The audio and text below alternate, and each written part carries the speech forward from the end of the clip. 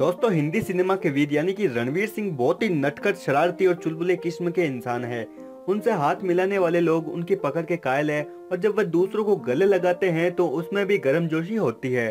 दोस्तों, वह हिंदी सिनेमा के दूसरे कलाकारों की तरह औपचारिकता में बिल्कुल भी यकीन नहीं रखते हैं।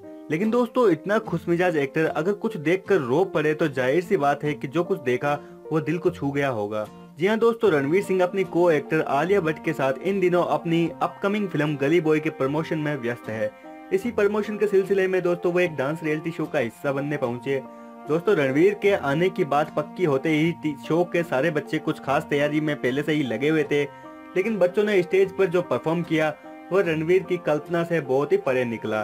जी हाँ दोस्तों शो की क्रिएटिविटी टीम ने रणवीर के स्वागत के लिए एक खास डांस मेडले तैयार किया था। इस डांस मेडले में दोस्तों, रणवीर सिंह की बचपन से ही सिनेमा को लेकर दीवानगी, फिर बड़े होकर अमेरिका में पढ़ाई और मुंबई वापस आकर एक सुपरस्टार बनने से पहले के संघर्ष को उन पर फिल्माए गए एक खास गाने के ज़रिए पेश किया गया। दोस्तों, ये गाना था रणवीर सिंह और सोनाक्षी सिन्हा की फ़िल्म लुटेरा का गाना, ज़िंदा हूँ यार। दोस्तों, इस गाने को याद करके और इस गाने पर बच्चों की परफॉर्मेंस देखकर रणवीर सिंह बहुत ही भावुक हो गए थे। और जैसे जैसे गाना आगे बढ़ता गया, रणवीर सिंह खुद पर काबू नहीं रख पाए और रणवीर सिंह को रोता देखकर सेट पर एकदम से सन्नाटा छा गया। और आलिया भट्ट व सेट पर मौजूद दूसरे कलाकार ने बड़ी मुश्किल से रणवीर सिंह को सहज किया। दोस्तों सेट पर मौजूद लोगों के मुताबिक रणवीर सिंह बच्चों की तरह फफक फफक कर रो पड़े थे। दोस्तों, वो इतना भाव विहल हो गए कि उन्हें वापस सामान्य होने में काफ़ी समय लग गया और इस दौरान शो की शूटिंग भी रुकी रही।